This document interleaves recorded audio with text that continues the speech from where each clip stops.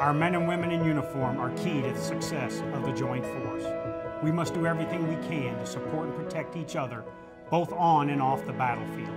Never forget that sexual assault erodes the trust and commitment we have to each other and to the mission. We want to stress the positive impact that prevention can have on a unit. That's right, SEAC. We encourage everyone to step in safely to situations at risk for sexual assault and sexual harassment, including online encounters.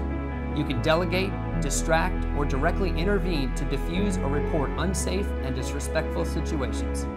We ask all soldiers, sailors, airmen, and Marines to take action because Protecting, each other protects our mission.